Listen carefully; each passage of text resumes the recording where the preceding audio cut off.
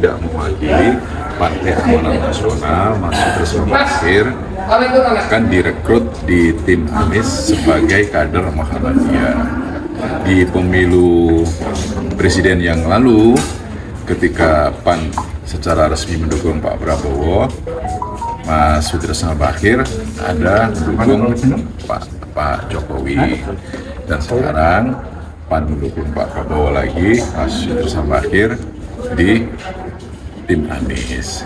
Jadi itu tidak mewakili partai karena partai taat tunduk patuh tegak lurus dengan Ketua Umum Zulkifli Hasan dan sesuai dengan hasil rapat kerja nasional mendukung secara penuh Pak Prabowo dan Mas Gibran sebagai capres cawapres. Artinya hingga kini belum ada komunikasi sama Mas Sutrisno ya soal dia gabung dengan tim Mas Amin ini, Mas.